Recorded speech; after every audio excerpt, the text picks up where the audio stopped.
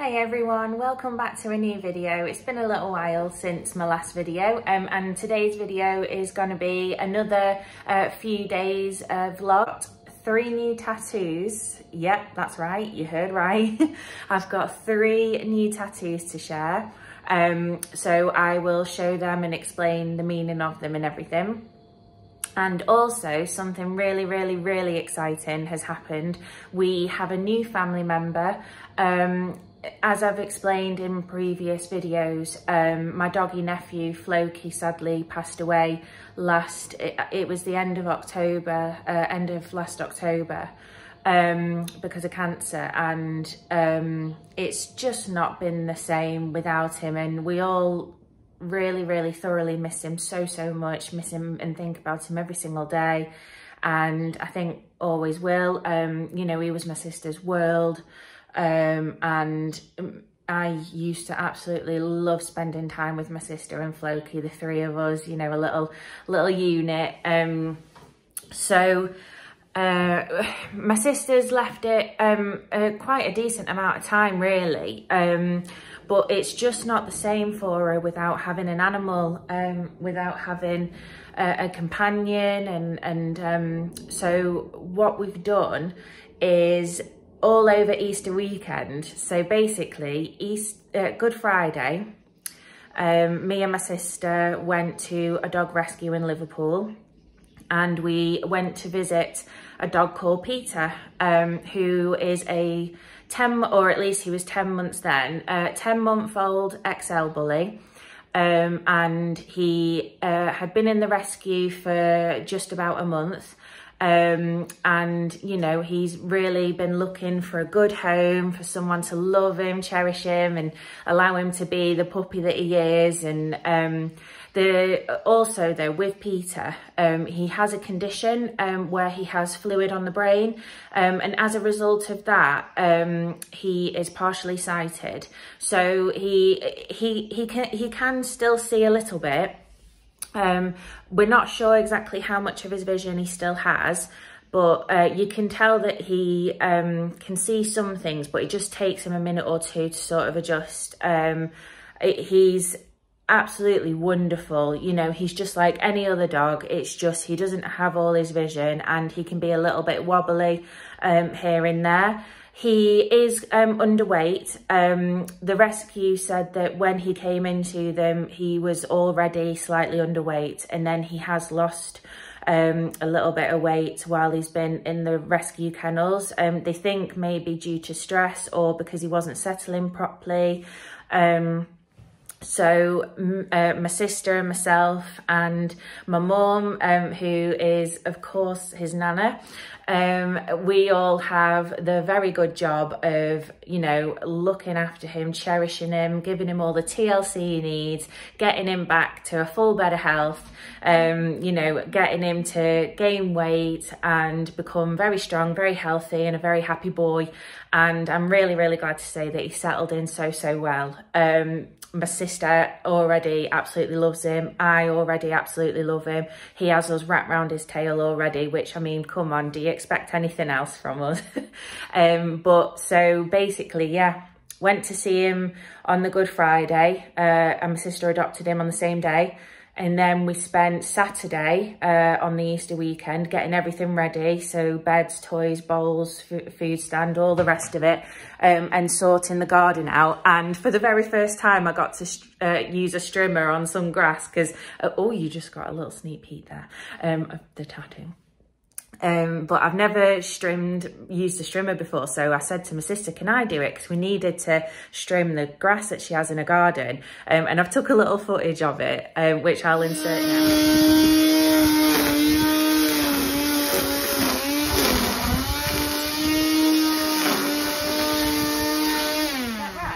Yeah. Sure. Yeah. My sister's just teaching me how to use a strimmer because I'm going to be 30 in a month and I've never strimmed before. I don't have a lawnmower at the moment, so a strimmer will have to do. Yeah. But it's never too late to learn new things.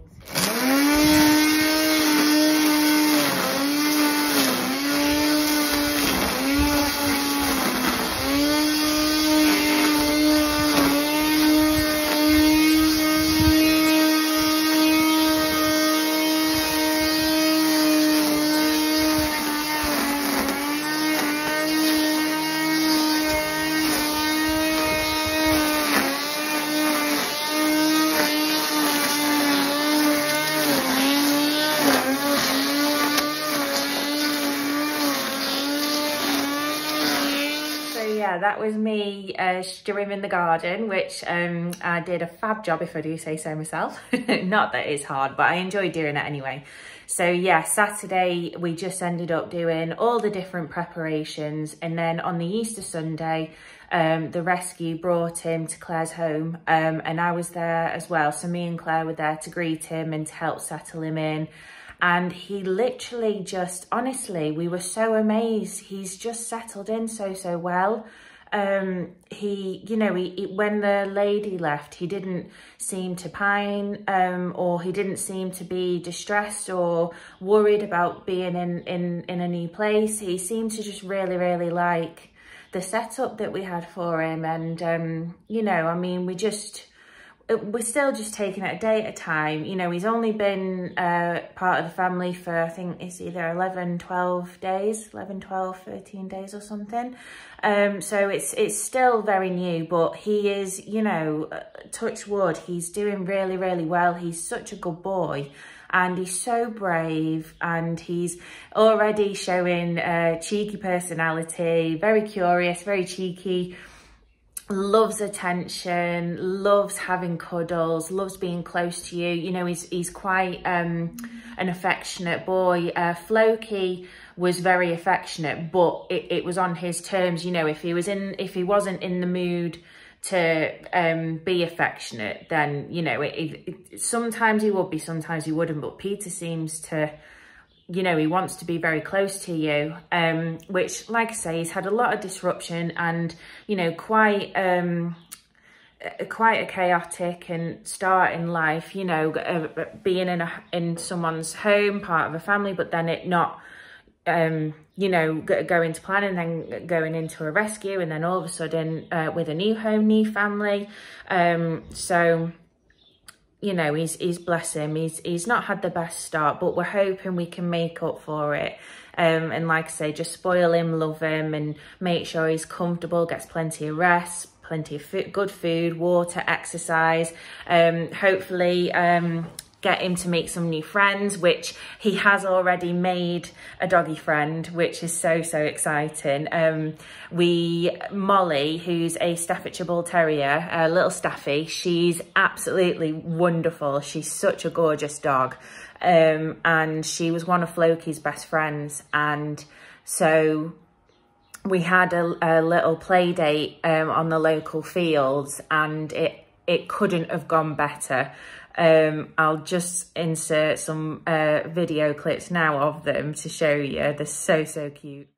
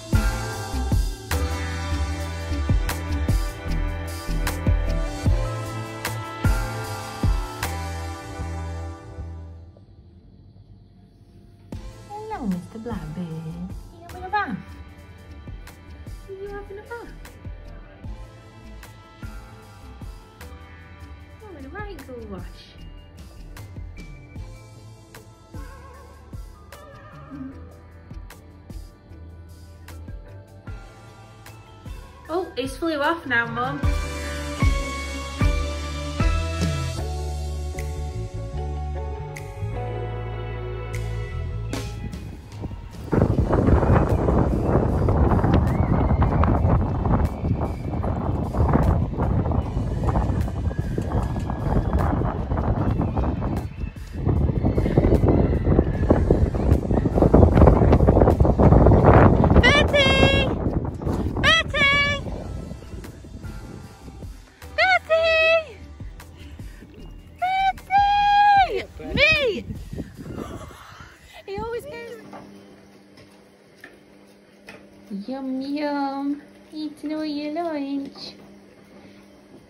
Can grow and be a big strong boy. Yummy, yum, yum, Peter's lunch in his tummy. He's gonna get strong and maybe a little chubby. Well, I mean, we don't want to get you overweight or anything, Peter, do we? But we definitely need you to put some weight on, kid. We definitely need you to put some weight on, don't we? Which, you know, at how much you love your food, I don't think should be a problem, really. No. You're loving your din-dins and your lunches and your breakfasts, aren't you?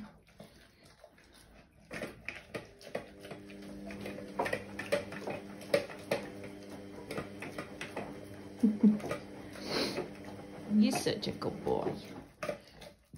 You waited very patiently, didn't you, while I was making it? You waited very patiently while I made it. You sat down, didn't make a sound, you just waited, didn't you? Because you're a clever, clever boy.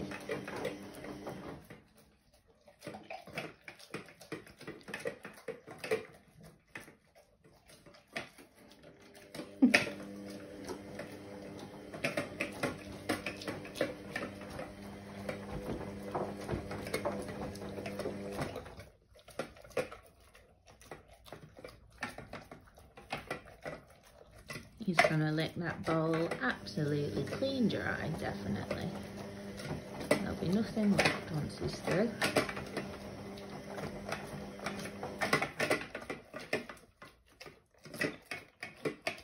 What's Auntie Becca got? She's got. Oh, he likes the bunny first, the best. Auntie Becca got him some new toys from B&M. Oh, yeah, there's that one too. Oh, sorry. And there's a road carrot as well. Yay! He's got some new toys. Oh, he's got some new toys. Oh, he got some new toys from B&M. Say yay. Oh, he's a road carrot, and we got a donkey, and we got a rabbit. Oh, yeah.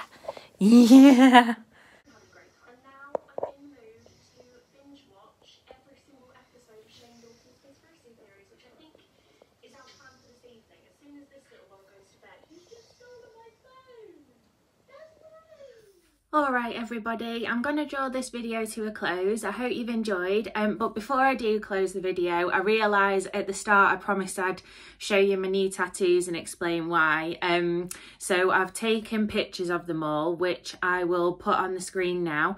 Um, so the first tattoo is, of course, the paw print of Floki um, Floki's paw print and his name underneath and and I went to a really nice lady who was able to do the the tattoo. Um, and I think she did a brilliant job like all of the little details in that. It you can tell that it's his individual tattoo and the reason why it's on my left forearm is because I wanted to be able to see it and it, like, you know, so I have him close and stuff because I think about him and miss him all the time and he's just, um, you know, Floki was just a special, special, special boy and that there are no words to describe. I, I, he just, honestly, he was just amazing. Um, and you just have those special people and those special animals that just you know they really stick with you and you bond with them you know to to a higher level than you would with others. And he was just absolutely amazing like really strong connection really strong bond. So yeah. So his paw print here on my left forearm so I can see uh, keep him close and you know so I can remember him always and then the final two as you can see they are so on the backs of my forearms and um, so this one says nature is my religion and then this one says earth is my church. And with this one it's like spring like spring florals and leaves and then with this one the leaves are more autumn shape um, to represent different seasons. And the reason why I've got those is because I'm not really religious or I don't really practice any faith.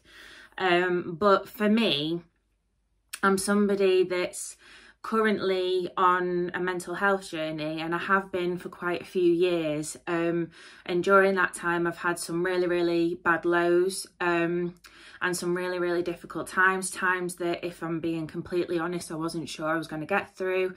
And uh, I'm sure anybody that has experienced a mental health battle you you understand that it's just it, it never quite leaves you. Even when you're doing better you you know it still takes a lot of work to stay on top and um you know to try and keep a level balance. And um it's just it's something that'll always remain with you but you just hopefully find better ways to be able to deal and cope and um to stay on top really. Um but when i have had my lows and when I have felt really, really lost and disconnected, and when I felt uh, just like I don't recognise myself anymore, one place I always found myself going to was out in nature. Um, whenever I'd have like a really bad panic, um, and I was just so overwhelmed with all the thoughts and feelings going on inside my head, and when I just felt like I was getting so trapped, I would just panic and either walk or drive to the woods or an um, open field or just anywhere outdoors in nature where I'm on my own. I breathe the fresh air in, listen to the sound of water, sound of birds. I like, you know, walk walk amongst the trees and it just really, really helps to calm me back down to sort of you know, for me to sort of settle and calm and, and it just humbles me back down really and it helps to make me feel connected again. Um, nature for me is something that I find really, really soothing. Um, I find it very calming, very soothing and just really, really good for me. And it's not even just a case of going out, walking everywhere all the time. It's even just if you can appreciate the beauty of the trees and the flowers and watching the birds, listening to the birds, um, or just, you know, any sort of interaction with any animals or wildlife or, you know, any, any part of the natural world really. Um, it's just, uh, I think the true, I, it might sound a bit corny this, but I think the true magic in in like the magic that exists. I think it's nature. I think it's the natural world. I think it's beautiful powerful. I think we can learn a hell of a lot from it. And um i think it it's you know it's nature and wildlife. They should be protected. They should be cherished. Um and they should be looked after you know and and I, I just I just feel like we've let you know, as as people, we've sort of let let the natural world down, haven't we? And we need to do better by it. Um, but me personally, nature has done a lot for me. So that is the reason why I've put that nature is my religion, earth is my church, because what I believe in is nature, is animals, wildlife, the natural world. Um, I believe there's magic in in it every day. Um, and I think it's just the most peaceful and the most right feeling that I ever have is when I'm embraced with nature or with with animals and things, you know. So yeah, so that is why I'm going to stop rambling now and end the video. But they are my tattoos, guys. Um, and I hope, like I said before, that you enjoy the video, enjoy uh, meeting Peter, and I will continue to take you along his journey and share his progress. I will take you along uh, the journey with us. So take care, everybody. Stay safe and well. Bye.